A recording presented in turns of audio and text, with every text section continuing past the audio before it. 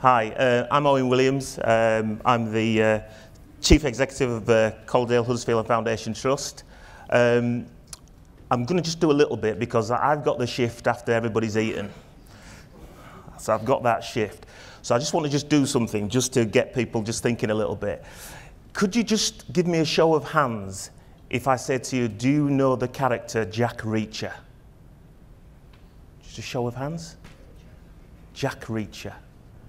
Okay, if you just put your hands down a sec. Um, can you just give me a show of hands if you know the character Alex Cross?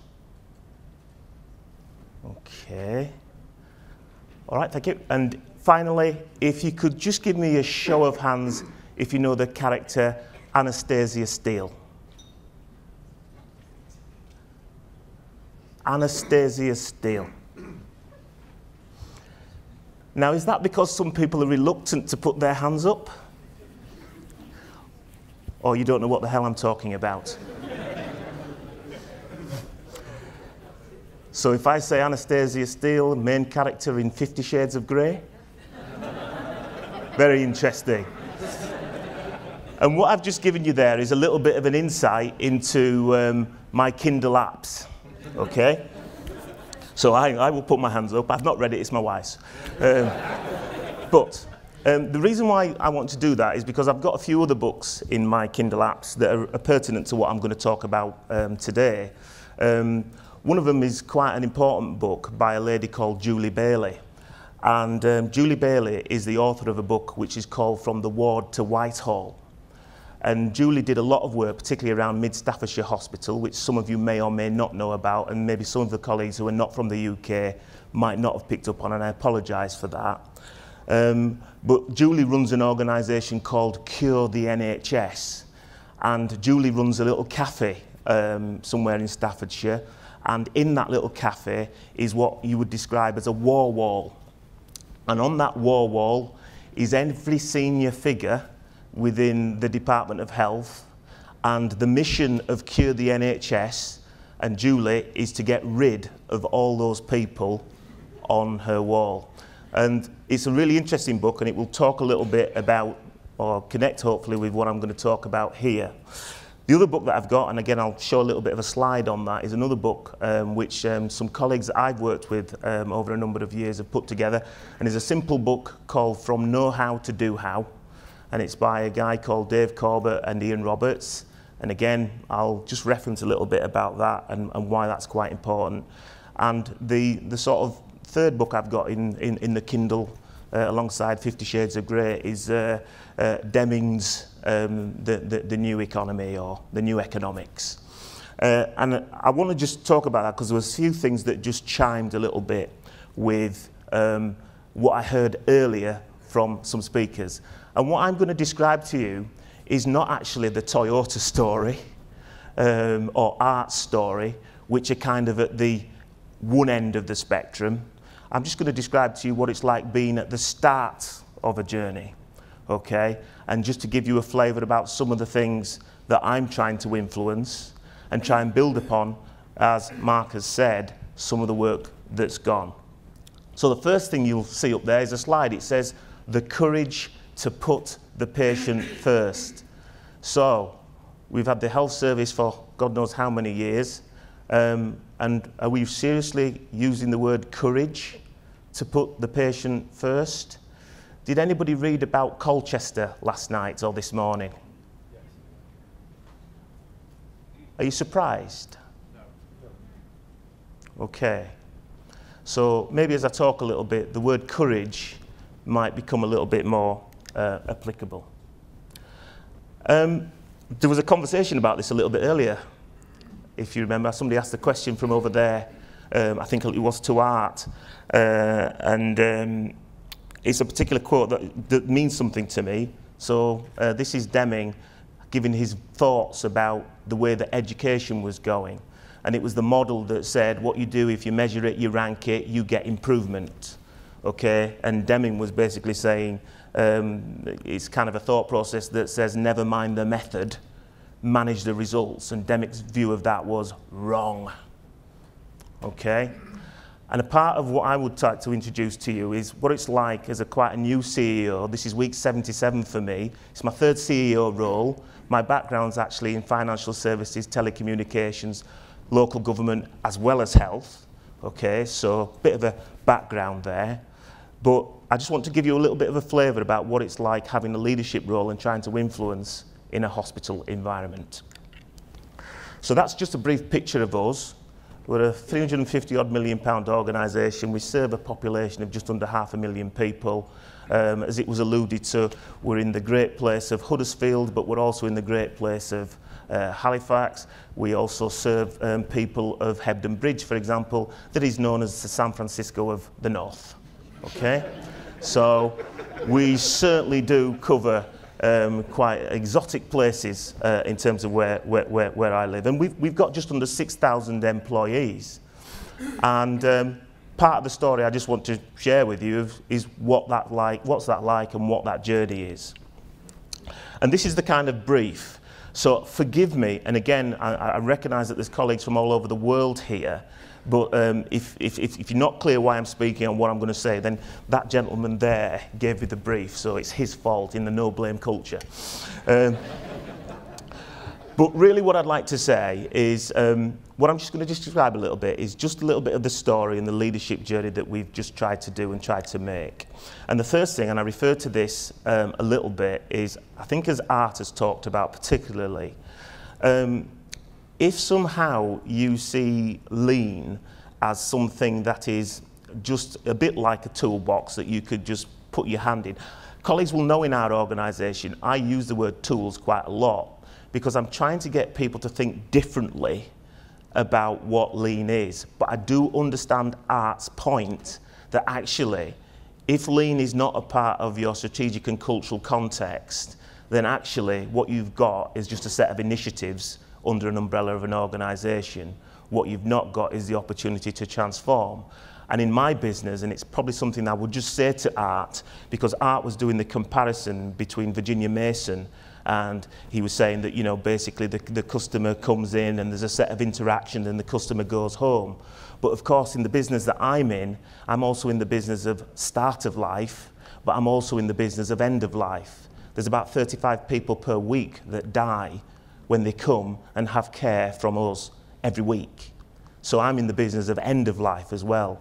And so part of my reason for existence is to ensure that as far as possible, where those circumstances are unavoidable, that people have what some people might term is a good death.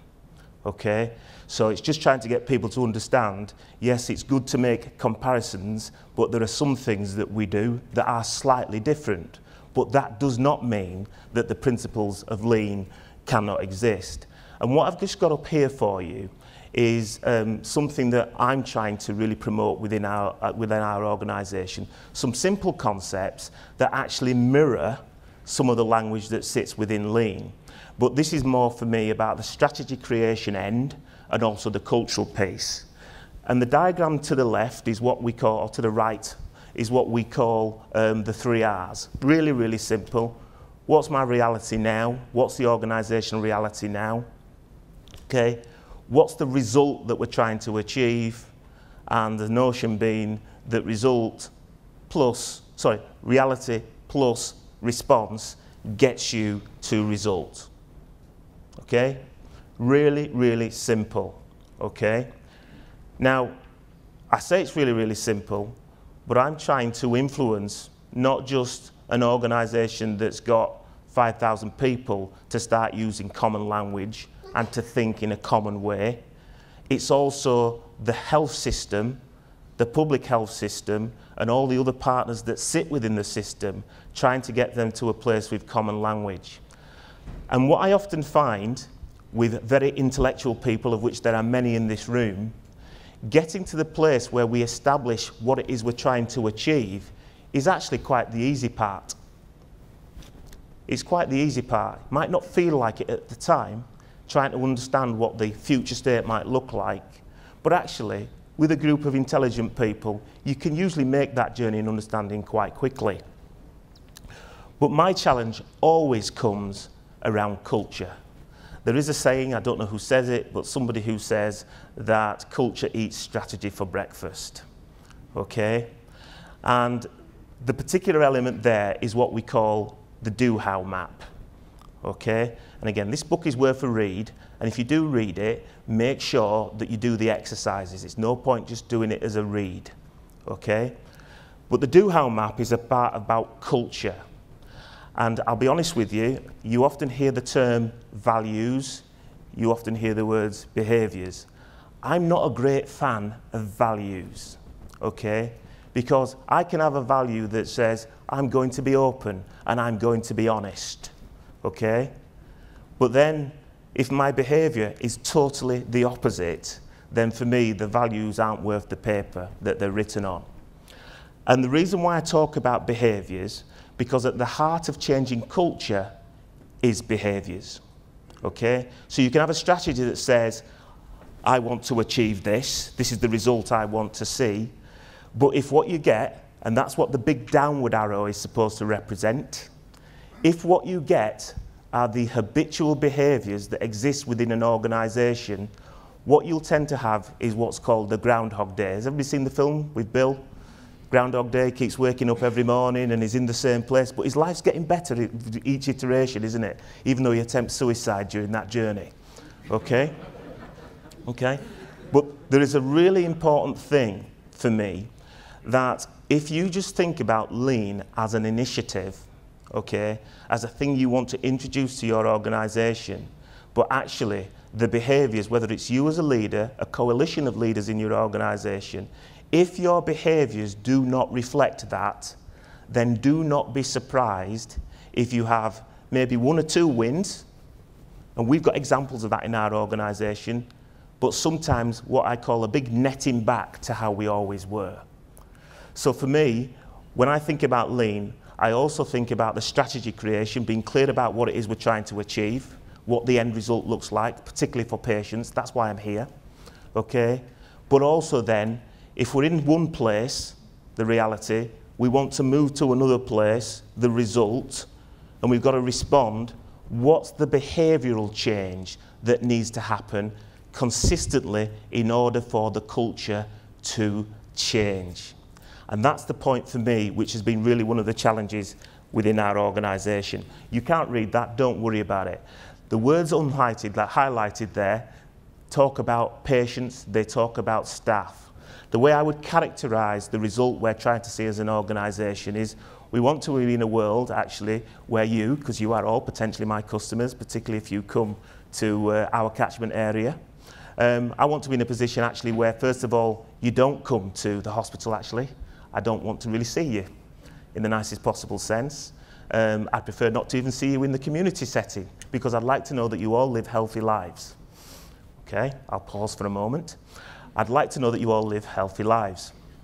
Um, but that's not necessarily going to happen. So there's an element of prevention, okay? But if you are in a situation where you do start to fall ill, okay, then what I want to know is that, first of all, you don't have to come to your care, that your care comes to you. And if I ask, because somebody in this room will have been ill recently, and if I said to them, has their experience been that the care came to them, or did they have to go to the care? I couldn't say absolute terms, but my belief would be you'd probably say you had to go to the care.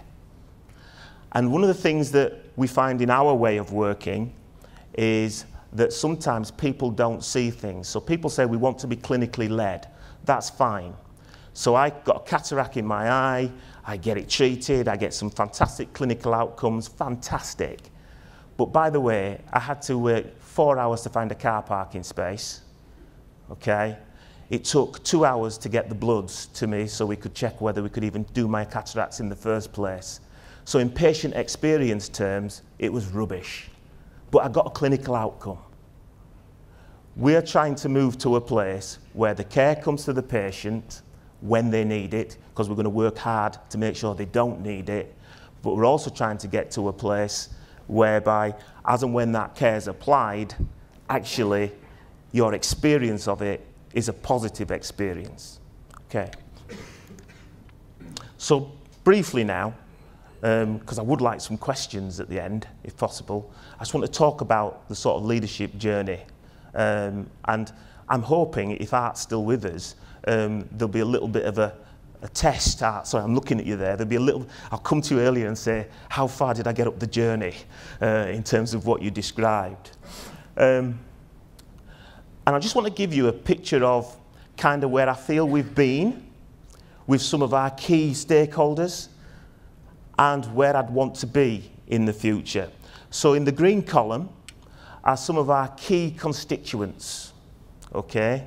Some of which, Mark, who's been with us for a long time, he won't have met, even though he's been with us for a long time, but he will have met most. But you'll see we've got in our architecture patients, we've got governors, non-executive directors, executive directors, doctors, nurses, therapists. We've got lean specialist, Tanya, wave your hand. Um, and we've got colleagues, external working with us, and we sit within a wider health economy. As you read, I'm hoping that you can see in the next two columns a kind of a picture of kind of where we are and a feeling of where we'd want to be and what would be different. And I'm hoping that one of the things that you principally pick up in those slides and in those two columns is the difference between who owns this, who's engaged with this, and how they're engaged with it.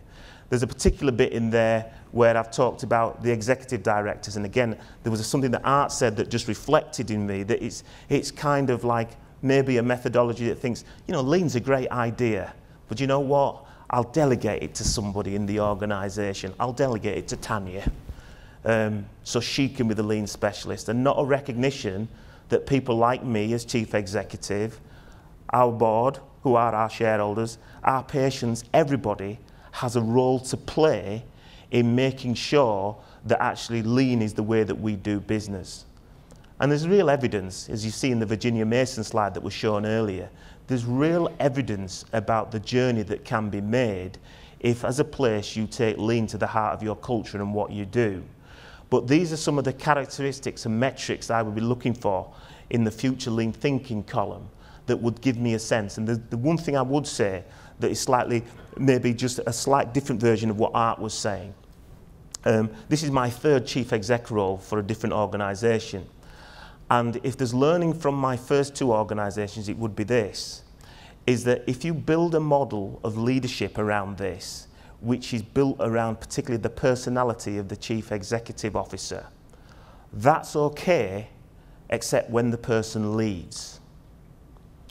And if you haven't built a wider coalition of leadership, then potentially what can happen, particularly if you've got a really good charismatic leader, is that as soon as that person moves out and as soon as somebody else comes in and has maybe some different ideas, the ethos can get lost.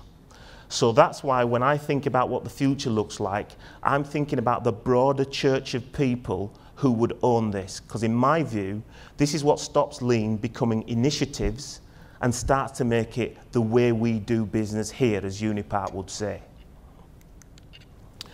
And so I'm just talking about some of the practical things that I've done. So colleagues, I keep looking to you in that corner. Some colleagues will remember when I issued this letter um, from myself um, people know that I'm very, very visible in our organisation. Um, but I sent a letter to some of our most senior clinicians. These are the people who really, really, really cost a lot of money in terms of their time. They really, really do have the most significant patient impacts. These are the people that if you get them to the patient as early as possible, that the chances of quality of care for that inpatient improve exponentially. Okay? But this was a letter that I wrote to them, which is effectively was asking them to take out time. I've just given a little snippet there of what I said. I cannot stress how important enough this work is. Please get involved. Because actually, they could have just turned around and said, well, thank you, but unless you're mandating me to get involved, I might not choose to get involved. But I'm pleased to say that in the early part of this year, you know, 33 senior colleagues, doctors, nurses, committed to coming off what I would call the treadmill of day to day care and came into the world of actually, let's go see. Okay? And there's a book out on the stand, it's 40 quid. It's called Making Hospitals Work. Um, I guess I would characterize myself as Jim, which some people may or may not know. But if you read that book, one of the things it talks about is going seeing. And this was really, really important. And here's some real examples of it. So just so you don't think I'm just pulling the wool over your eyes, here we are, people, doctors, nurses, and as I say, some of these people can be earning up to a quarter of a million pounds, if not more. Okay? Some of these people, if we've taken them out of direct patient care, there is a calculated risk that we might be taking in terms of that patient care.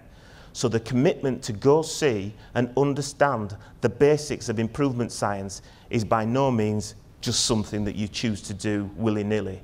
And for those of you who can't read, when we were doing some of the analysis there, what that says is that the treatment time equals 9 hours 45 minutes to 10 hours 15 minutes, that's the cohort, and the waiting time was 175 hours to 203 hours. Would people understand what I'm talking about when I describe that? There's a few nods here. Is that productive time? Is that productive time for the patient? Is that productive time for the clinician? Nah, that doesn't work. And we are one of the good hospital trusts in this country. Okay? So you're not talking about an organisation, if there's anybody in there, that is fundamentally failing. You're talking about an organisation that is well respected. But when our own clinicians went and looked at the process, went and whether it was the, the circle standing still or watching and observing, their insight and what they saw was pretty amazing for them. And we have the OMGs.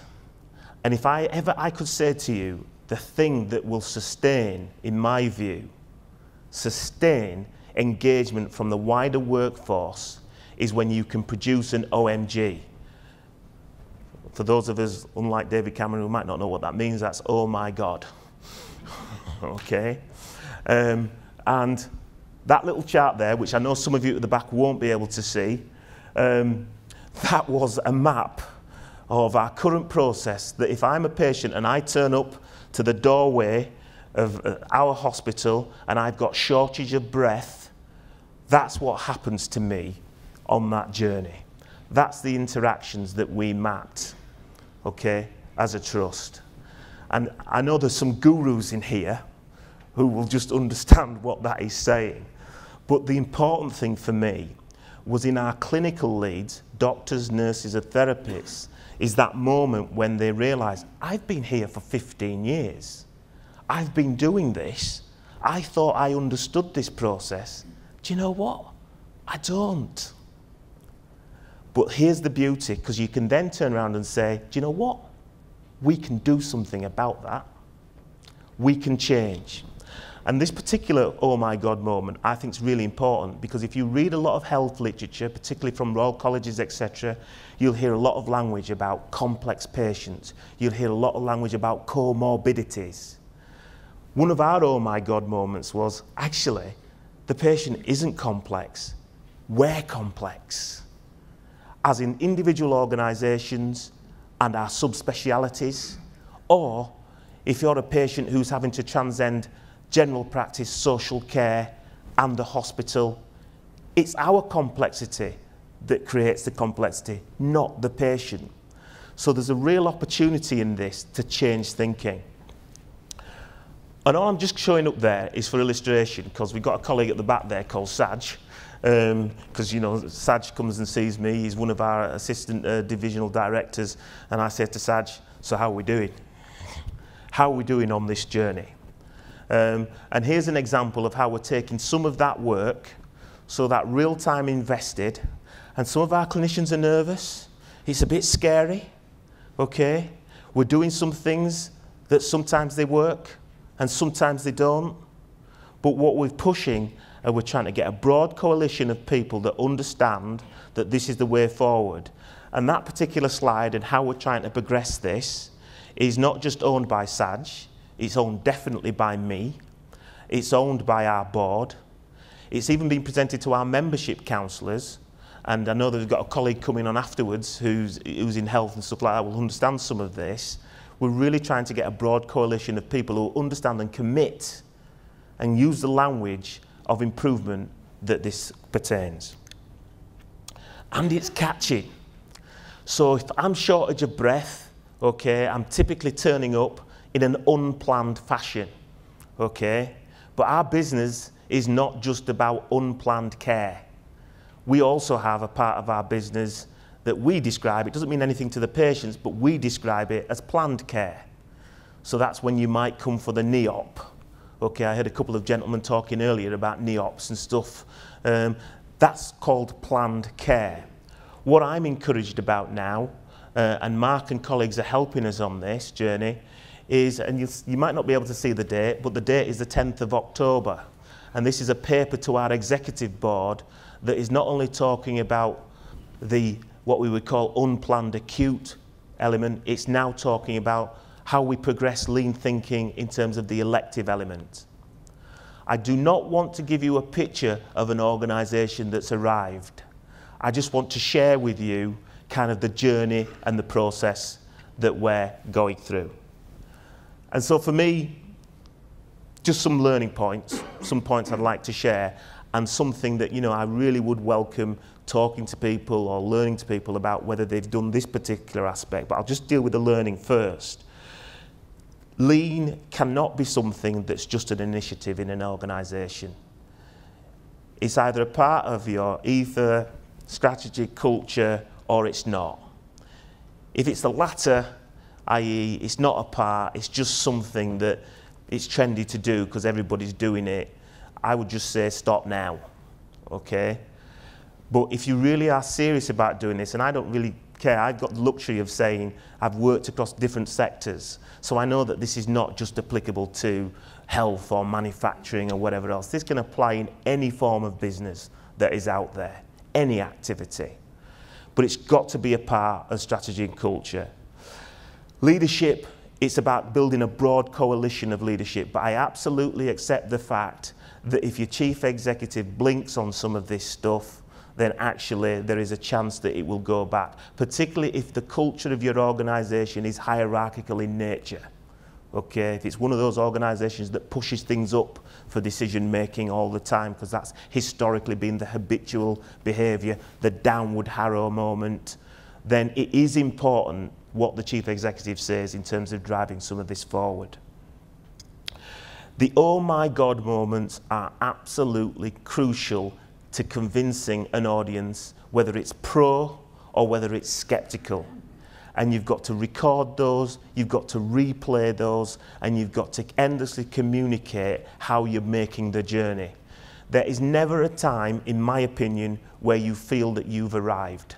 That's the judgment I would make. It is consistent, it is forever in terms of communicating and trying to get engagement and replaying those oh my God moments. Because that's when you start to get hearts and minds. And once you start to demonstrate to people you can make a difference, guess what? You start to make a difference.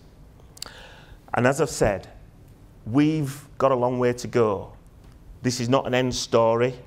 This is a story of a journey. But I think we are making improvements. And most importantly for me, I think I can start to tell the difference in our staff, but most importantly, the patient experience, which is what I'm here for. But there is one thing I'd like to do further, because my experience, and I'm, I'm a bit of a, you know, I'm, I'm a soft systems methodology geek, um, you know, there's various geek hoods, um, John said, and also I've experienced various things through my, through my time. The one thing I'd like to do more is I believe that we should be getting the patient involved in the current reality or the, the, the current state, the future reality or the future state, and designing out the journey. Uh, and I want to do some work in my time at CHFT, which I hope is a long time, uh, if the regulators don't get me. Um, I really, really, really do hope that what we will start to build in is the patient as a part of designing out where we want to be. It's the one thing that when I've looked in some of, you know, whether it's Toyota, whatever else, I, I always see quite elements of the organisation, but it's not obvious to me where the patient or the customer sits in that. And I just feel there's even more value to be added from lean as a process, and whether it's a profit margin that you're after or whether it's a quality of patient care, I feel there's some real opportunities is if we can get patients in the design, not just as observers, participants in the design.